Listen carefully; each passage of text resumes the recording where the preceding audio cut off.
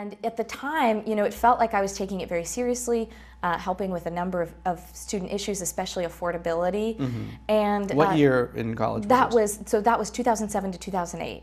Oh, okay. And um, I had uh, women like Governor Madeleine Kunin, our only female governor mm-hmm. in Vermont, and other legislators come to me and say, look, you're the student body president, you teach preschool in town, you're really involved on boards and commissions in the city.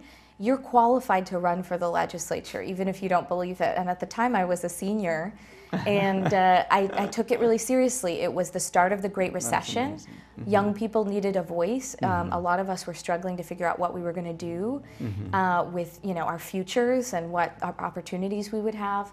So I ran for a seat in the legislature and I challenged incumbents. Mm. And uh, you know, I was I was underestimated pretty early. Mm-hmm. I was called a kitten with lipstick, mm-hmm. and I ended up uh, winning that seat by the largest margin of any challenger in wow. the state that year. And you are the uh, youngest elected state official, right, in the history of Vermont? Uh, no, I spent a long time as the youngest elected official of the time. Uh-huh. Um, you know, when I was elected in 2009, I was 22. Mm-hmm. Um, or sorry, I was elected in 2000. 2008 and took my seat in 2009. I was 22, mm-hmm. and uh, I spent a long time as the young, youngest elected official in the in the current period. Mm-hmm. But there have been a couple Vermont legislators who were elected at 19 wow. in the past. Okay. Um, and New England is known for you know having some younger folks end up uh, representing districts. So um, I was the youngest in the legislature for a long time, mm-hmm. and now I'm you know proud not to be having been there for eight years. I was hoping some younger folks would come along. And they have.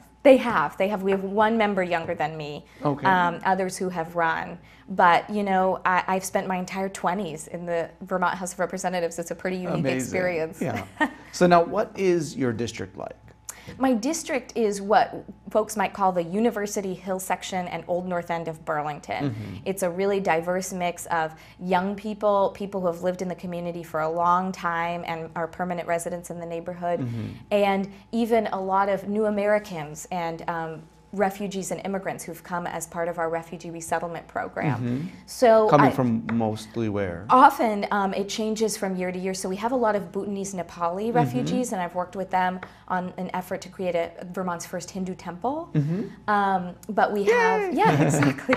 we have uh, Somali refugees, Sudanese refugees. Uh, early we had Vietnamese refugees who are now more integrated in the community. Mm-hmm. Bosnian refugees. Mm-hmm. So it's a really, it's Burlington's become quite diverse. There's over 70 languages spoken in our school district. That's amazing. And as somebody who was raised by an immigrant parent who owned a small business, mm-hmm. um, I felt I was really able to bridge those worlds. Well, you know, in terms of uh, just the demographics of Vermont. Watch the remaining show on ITV Gold.